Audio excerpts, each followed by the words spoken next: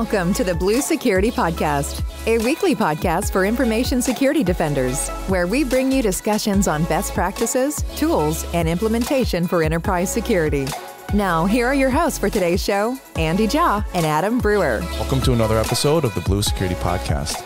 I'm Andy, your host. I'm Adam, your co host. This week, we're going to be talking about passkeys. Now, passkeys have been making a little bit of news because there are some new improvements, and we've now dubbed it as passkeys. The cybersecurity industry has slowly been making improvements towards passwordless authentication.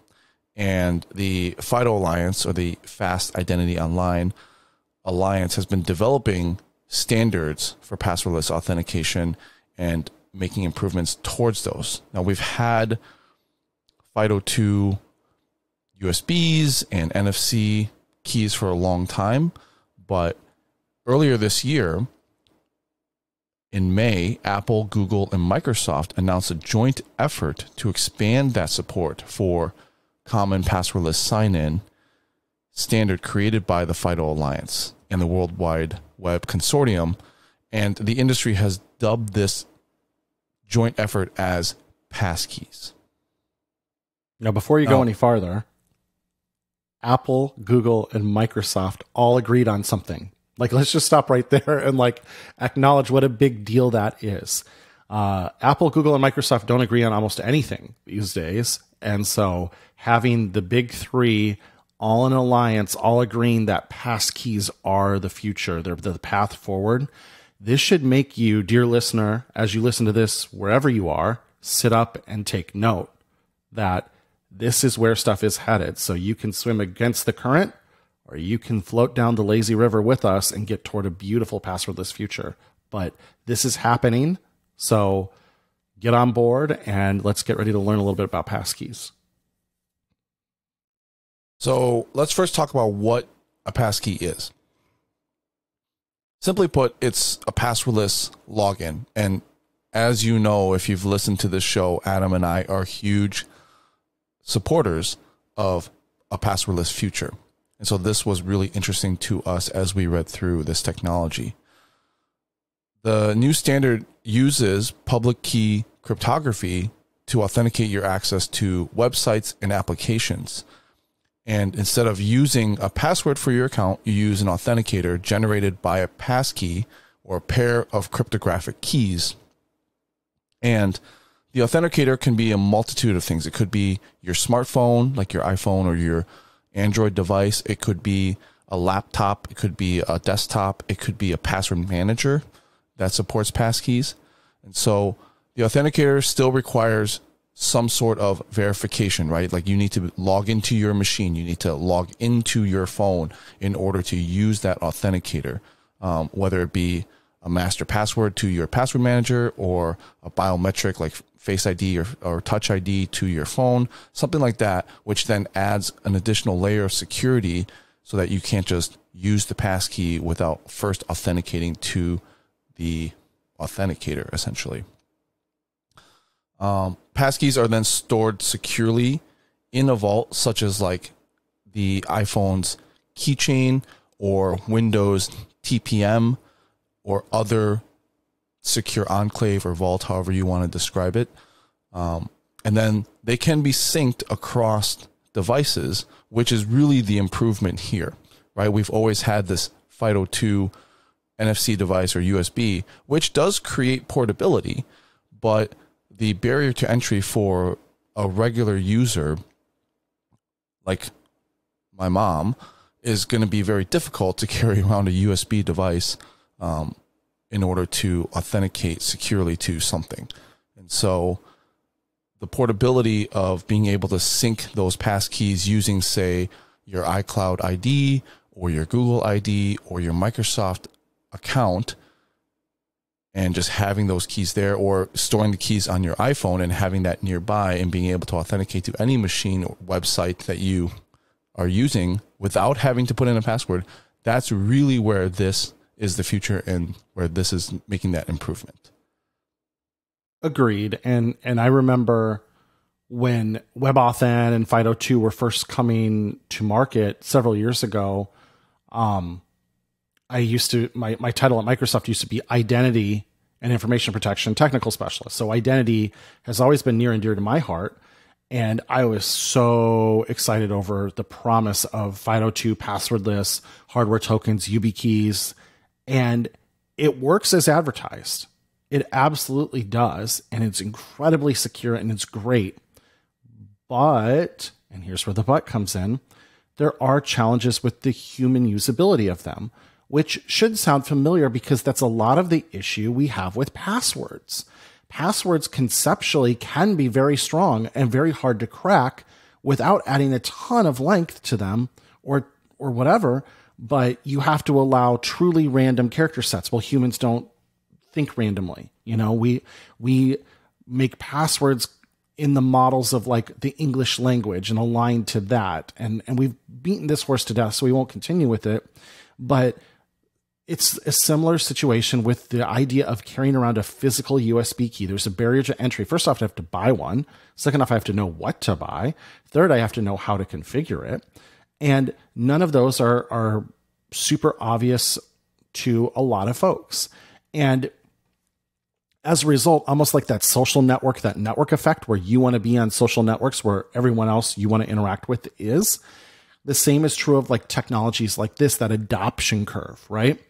And even though FIDO2 has been available for a long time now, I mean, we're talking what, four years or so since it really started to come on market in, in like 2018, I still can't use it to like sign into my Google account. Like Google has no passwordless method, period, which is just bonkers to me and drives me nuts every time I sign in to my Google account. But that's another story. The fact is, like, the major players still aren't adopting this because they're not seeing enough ROI to do that. They're not seeing enough adoption. So this is where we have to look in the mirror and say, okay, you know what? If it is synced across devices and it's more portable, does that increase attack surface? Sure. But is that a worthwhile trade off to get mass adoption and to therefore make it accessible on all these sites and eventually reach a passwordless future? Because a theoretical perfect future doesn't do us any good versus a very, very strong, very secure passwordless future that we can actually achieve, that's what's worthwhile. So I think some purists will look at this and say, oh, well, now, you know, if I sync all my passkeys through my iCloud keychain, if that gets cracked, then I'm in trouble. Yeah, true. Same if your password manager gets, you know, compromised or whatever um, there is that eggs in all basket fear. And if, if you're a fan of tinfoil hats, feel free to still put all your stuff on FIDO devices that you have physical access to and keep under your bed or whatever. Um, but for even you will benefit from this by creating mass adoption, by making this more user friendly. By having an iPhone just friendly suggest to a user who doesn't know better say, hey, this site supports passkeys. I'm going to save your passkey in your iCloud keychain. Cool. Okay, here we go um, that's what gets us to where we want to be, which is really removing passwords entirely. And we're nowhere near there until sites start adopting this technology first. I always talk about credible alternatives to passwords. And until we have ubiquitous or near ubiquitous adoption of passwordless technologies, we can't start removing passwords from the directory. You even look at, you know, I, I think Microsoft was one of the very, very first um, to allow you to remove your password from your consumer account. Um, your, your Microsoft account you use for Xbox and Skype and um, like Teams Consumer and all that good stuff, your, your personal M365 account, you can remove your password from it now, which is awesome. But we need way more of that to get to where we want to be. So this is this is great, and I think that's what we're going to get into today. Is the, the underlying technology, the cryptography is tried and true. It's public private key cryptography. It's great. We know it's great. We know all the strengths of it. But we also know that adoption four or five years later isn't where we need it to be. So, how are we going to help make this more accessible, more adoptable by users? I think that's the key point for today's conversation.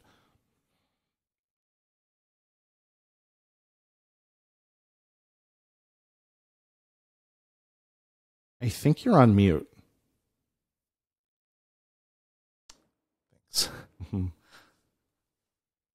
So, like you said, Adam, this isn't new technology, uses public private key exchange in order to perform that authentication. So when you onboard a new passkey, it generates that public private key pair.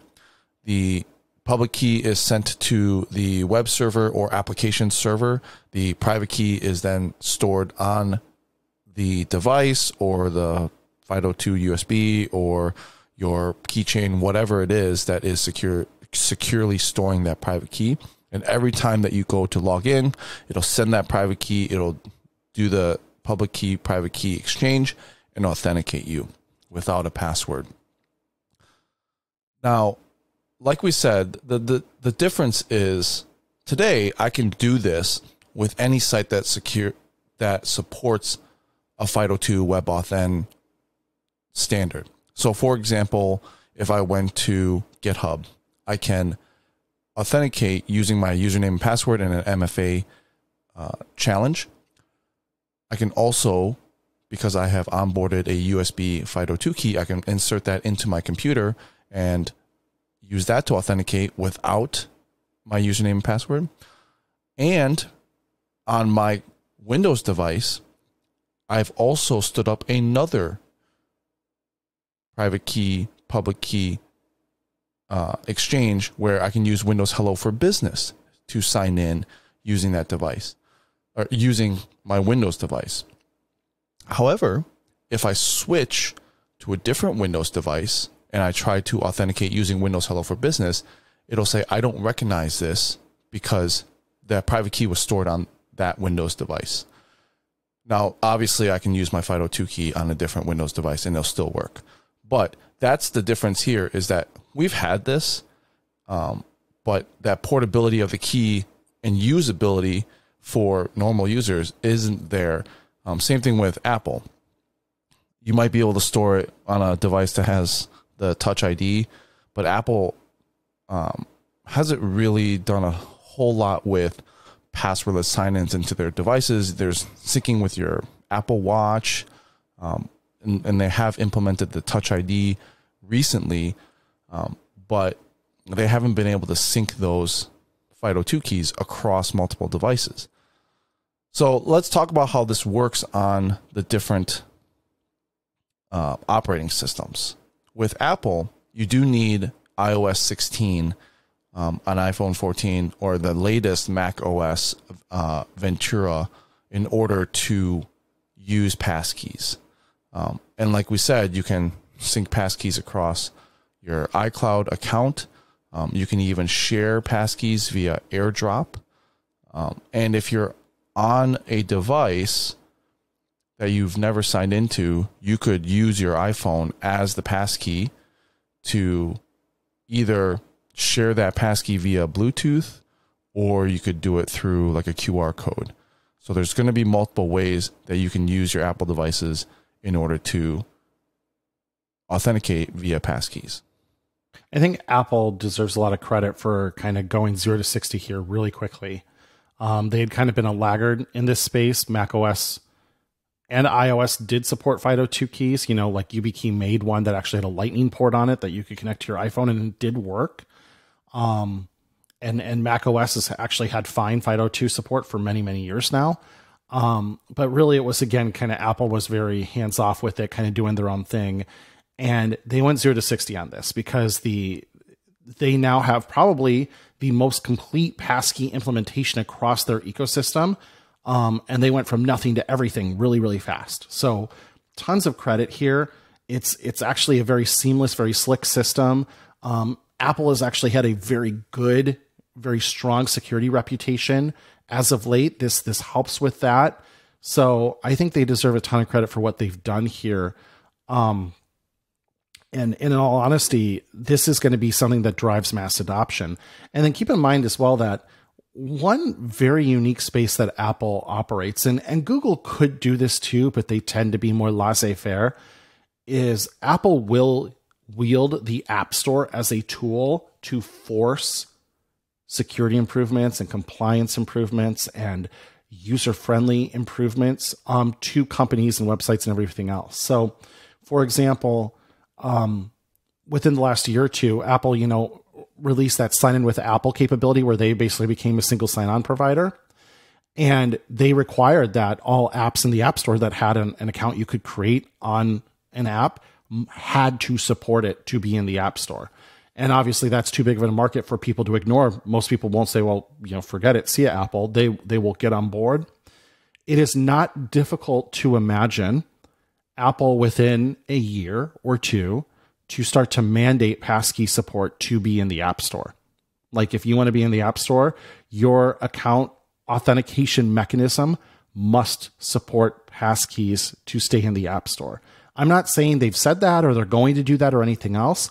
It's just understanding that Apple has that power and has wielded that power to to be honest for good in many scenarios.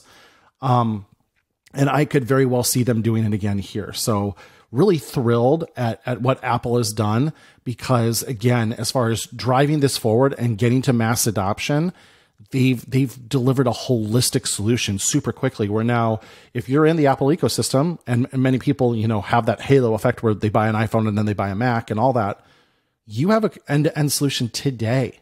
You can go to a site that supports passkeys right now on your phone and it'll be like yeah here i'm going to create a passkey. You sit down at your mac and it's going to be there ready to go so you talk about like realizing that passwordless future in a hurry um, that's a really quick way to get there um, with with a solution that's already end to end. Like, and and again, if you asked us this in August, none of this had shipped yet. And now with Ventura out, which just came out like a couple of weeks ago, and with iOS 16 now out in market for a couple months, like again, ton of credit here, man. They they have really um, became a major player in this space, and it'll be interesting to watch if they wield their their market position to push Passkey even further. And to be honest, I kind of hope they do. That's a really interesting point that you made. and a side tangent, because, you know, we've recently, of course, talked about the whole Twitter, you know, wildfire, I guess. and uh, I read that the the folks who were there, who are still there, their greatest fear was compliance with the Apple and Google App Store they had an entire department and team dedicated to making sure that they were within the App Store compliance. Because if Twitter were to be kicked off the Apple App Store and the and the Google um, App Store, Store, that would be a major blow, right, to usage. Like if you couldn't install it onto your mobile devices, I mean that that would be the death of Twitter.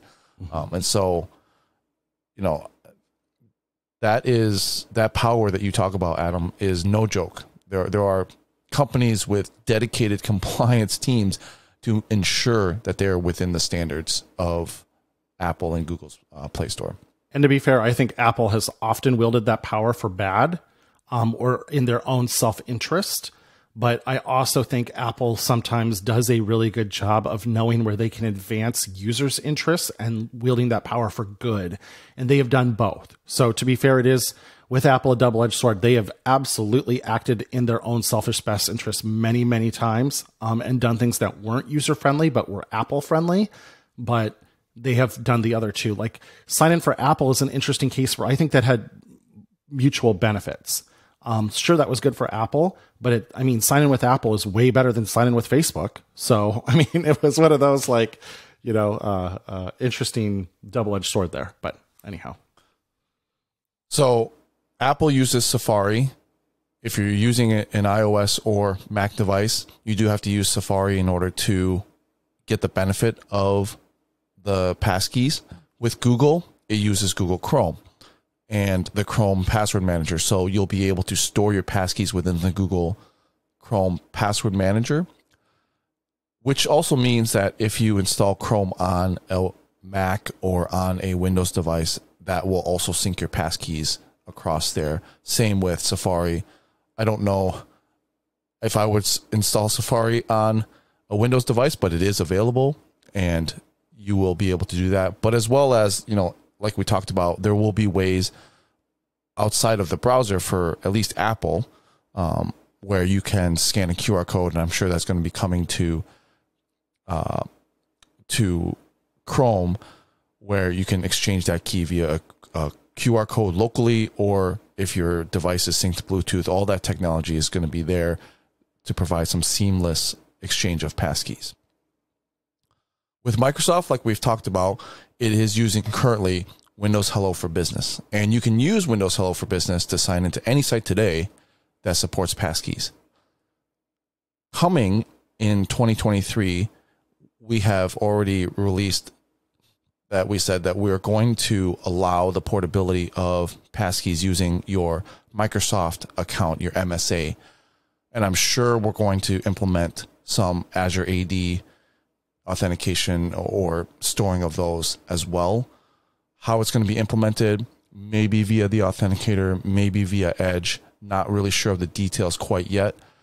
As of right now, you can use Apple and Google passkeys on Windows, but you cannot port those keys that you're signing in with Windows Hello for Business to the other operating systems. But like we said, that feature is going to be coming soon.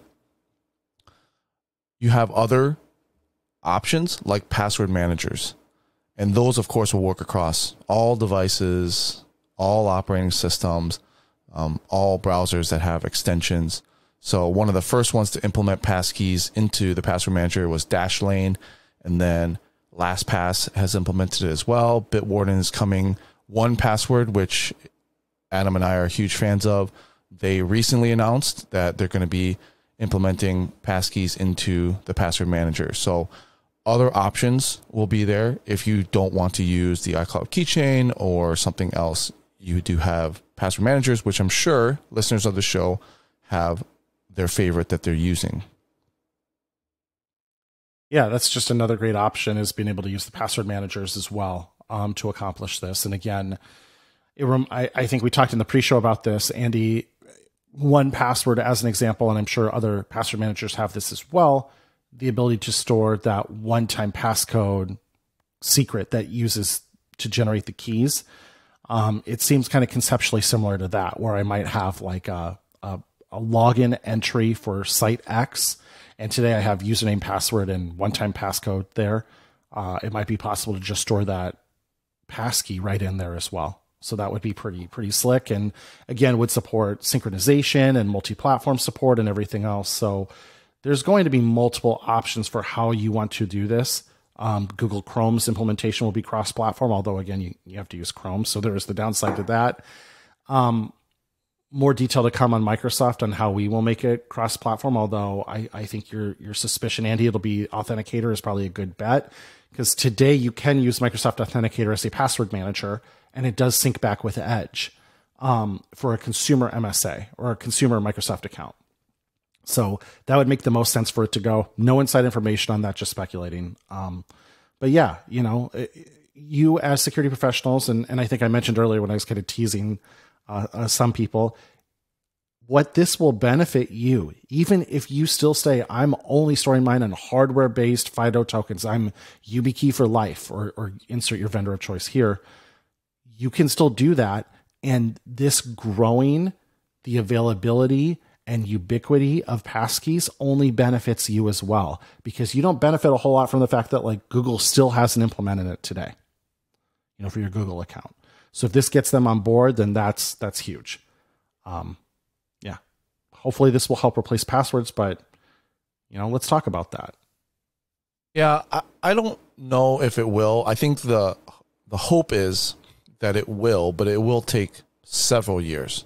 Like passwords have been around for what, 60 years, mm-hmm. maybe. And I think it will take maybe a decade or so to start pushing out some of those old systems and and very well you may have systems that are going to continue to use passwords for many decades to come but i think it will eventually replace passwords. Now, the problem is, in my opinion, let's use like Best Buy as an example. Best Buy is one of the sites that have passkeys implemented for it. So if you browse to bestbuy.com, you'll actually see where they've replaced the wording. It used to be WebAuthn and FIDO, but they've actually replaced the wording that says use a passkey to sign into this website. The problem is, is that I have to use a password username and hopefully an MFA uh, challenge as well to authenticate to Best Buy's site and then onboard my passkey. Without that initial username and password, I can't just onboard a passkey. So I see that as a barrier. Like I want to be able to use a passkey to initially onboard or I guess onboard a passkey without having to use a username and password. Now that's not possible today. I don't know how conceptually that would be possible because you have to authenticate. So, you know, there's going to be some work there to do that, right? So today I still have to use a username and password to onboard my passkey. And then even if I've onboarded a passkey, like we've talked about in this show, many in fact, I don't I don't know of any sites right now other than the Microsoft consumer account that have the ability to take that password away once you've onboarded that passkey. And that will also be a big step into removing passwords from you know our, our use because if it doesn't even have a password i've just removed it and now i can only authenticate to that site using my passkey then you know that will be the biggest step towards that. So maybe maybe we don't need to take away uh, onboarding a passkey using a password, but certainly I think we should be able to remove the password from that account and just authenticate using the passkey going forward. So that until we have those options, I don't really see passwords going away. Um, and so, yeah, I, I think it'll it'll be a little while, and there's still some work to do, but the hope is that it will eventually replace passwords. Yeah, it will take a long time, and I think of, and I'm sure Andy, it's not hard for you to think of a site you use that has like very rudimentary username and password support. I have this kind of janky site that I have to use to buy um, like contact lens supplies and it's it's very low tech. You know, it's a very ugly site, and I am sure the authentication is not super secure or anything. You know, I'm I'm doing the best I can. I have a super long password. It's unique to the site, so if their database gets you know dumped because they don't hash and salt their passwords or something stupid, like I'll be okay. You know, but it's still one of those things of those are going to be your laggards you know once once this comes out like your big tech companies your major players they're all going to be on board with this pretty quick again, sites that have apps in the App Store. I, I again think Apple will will eventually enforce or mandate passkey support. Um, it's going to be these mom and pop sites you use to like sign into like pay your HOA bill or whatever. They're going to be your laggards for sure because they just don't have incentive to like really modernize their identity stack. And I think there'll be opportunity for you know CIAM providers to provide that service and help them get to this place not that I would push for like government regulation here, but it would even be awesome if we had some sort of regulation kind of pushing us in this direction. Although, you know, I, am not asking for more regulation, but maybe some sort of middle ground would be good. We'll see. Like that's that's kind of Apple's position almost. Um, I'm curious, you know, you made a really good point about onboarding. Like if I onboard a new account, can I onboard a new account from birth without a password? I don't even think, even though MSA has you know support for eliminating passwords entirely, I don't know if you can go create an MSA without a password initially. I think you do, and then you have to go pull it back after the fact.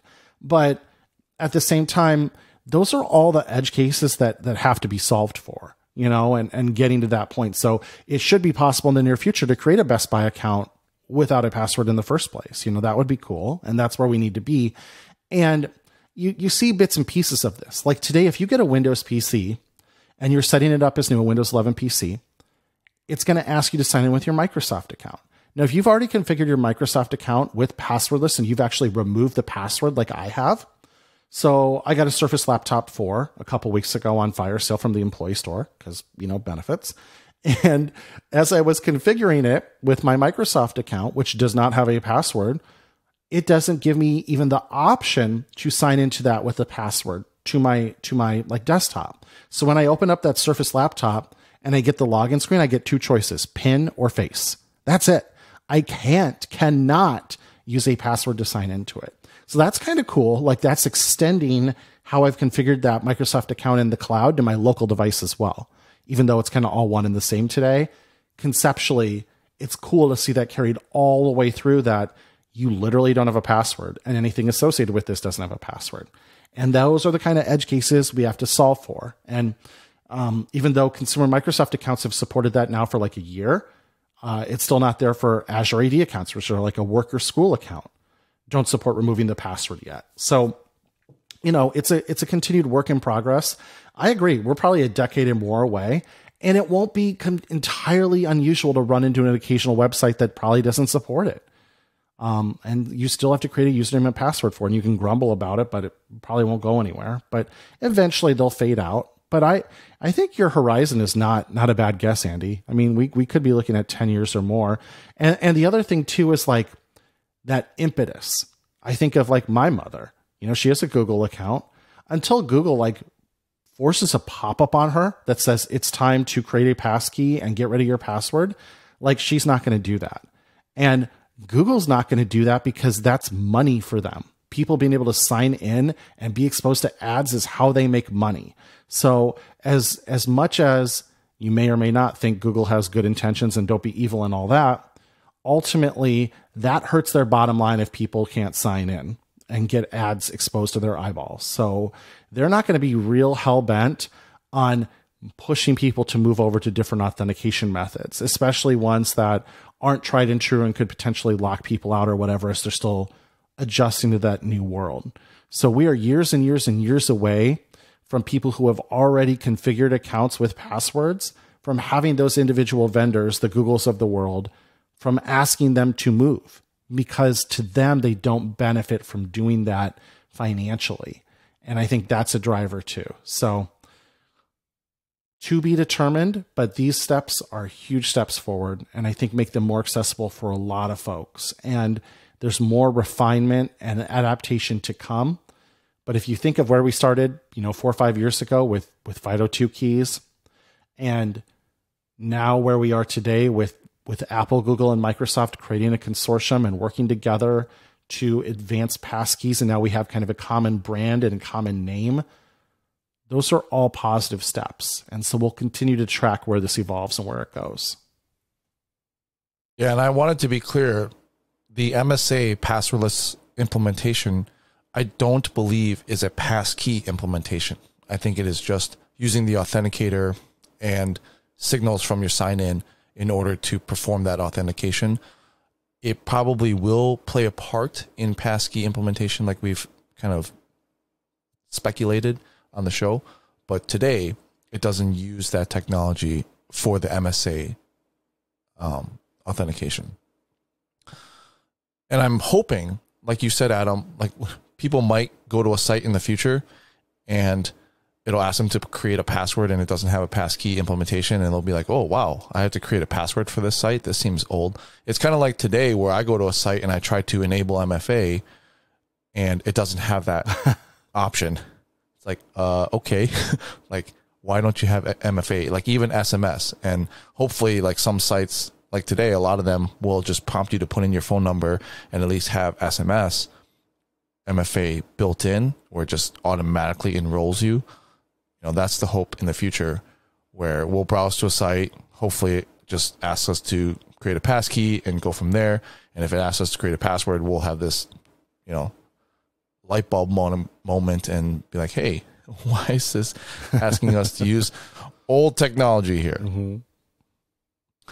So hopefully you learned a little bit something about passkeys and where we're going with the passwordless future. This is really exciting stuff, um, especially for both me and Adam. We're huge proponents of identity and passwordless. And that's our show for this week.